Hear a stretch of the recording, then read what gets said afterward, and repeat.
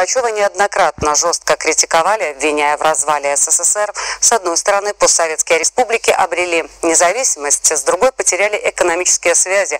Годы нищеты, разрухи. Сам политик впоследствии говорил, что распад Советского Союза – это ошибка и возлагал ответственность за это на организаторов путча 91 года.